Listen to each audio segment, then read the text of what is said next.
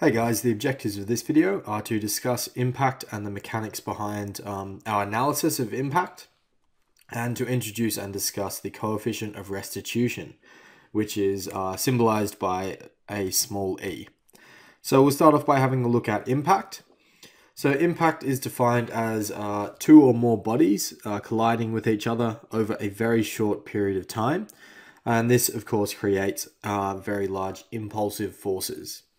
So uh, if we just uh, look at this sort of diagram we have here, uh, we've got impulse and each of these three times this impulse is exactly the same size. And we have three different scenarios um, for this impulse.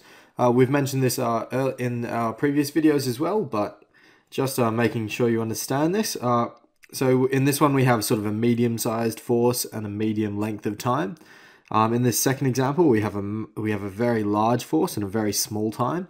And in this third one, we have a very small force and a large time. And each of these impulses are equal.